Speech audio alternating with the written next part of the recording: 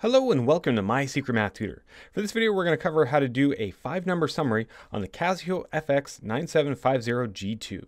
So this is a great calculator for statistics, but of course it's a little tricky to figure out where exactly all of these different menu options are. So let's go ahead and some, uh, grab some data and see if we can get that into our calculator so we can five our five number summary.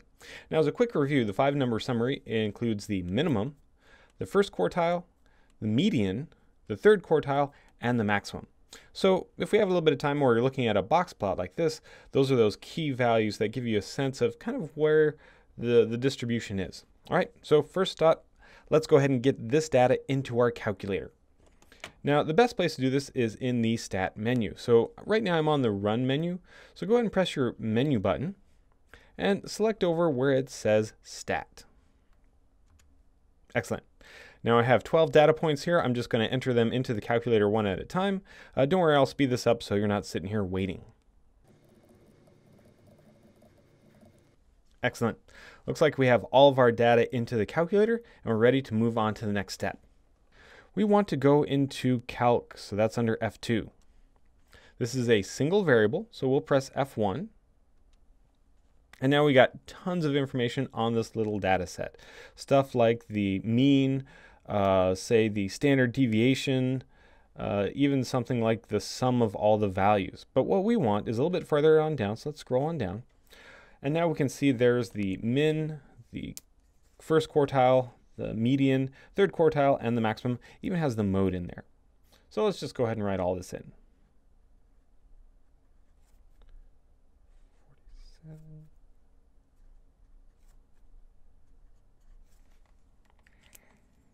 So there's all of that great information. Now, we have a little bit of extra time, so let's go ahead and make a box plot of this so we can see where all of that falls. So exit out of this nice little summary, exit out of our test, and now we can go over here to the graph option. Now when you press graph, you actually have three different graphs that you can put it on, graph one, two, or three.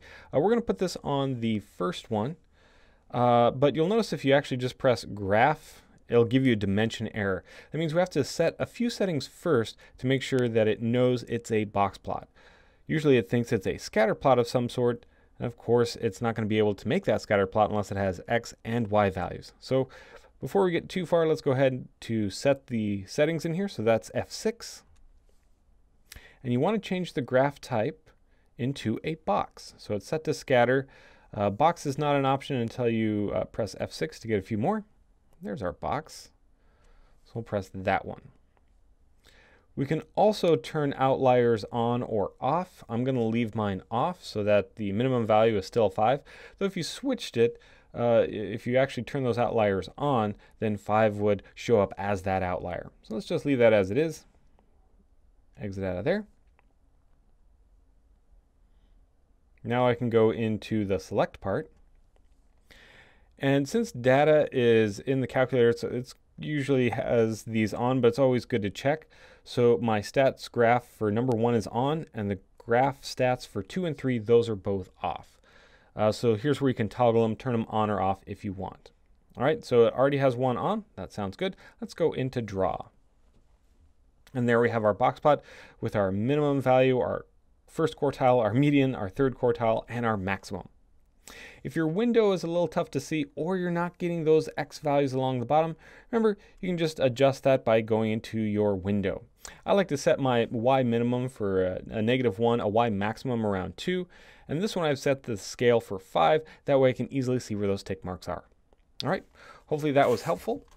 If you'd like to see some more of my videos, please visit mysecretmathtutor.com.